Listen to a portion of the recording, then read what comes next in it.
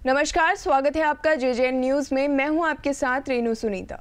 नैनीताल के क्षेत्रीय विधायक संजीव आर्य की ओर से बीडी पांडे अस्पताल में बने चिल्ड्रन वार्ड और उनके द्वारा दी गई एंबुलेंस का उद्घाटन किया गया है।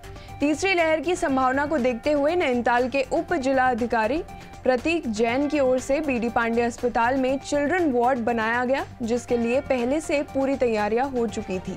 नगर के जिला चिकित्सालय, बीडी पांडे अस्पताल में सभी उपकरणों से लैस जीवन रक्षक एंबुलेंस व बच्चा वार्ड का मंगलवार को विधायक संजीव आर्य द्वारा उद्घाटन किया गया।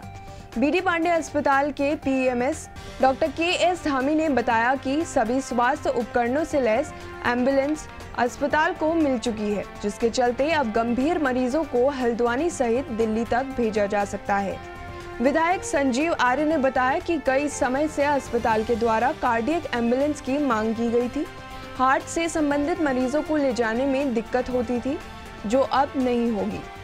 इस दौरान निर्देशक doctor Shailaja Bhatt, CMO Bhagirathi Joshi, doctor K S Dhami, doctor Aniruddh सहित विभाग के कई अफसर मौजूद रहे। प्रदेश से जुड़ी इस खबर में इतना ही। देखते रहिए जे जे न्यूज़।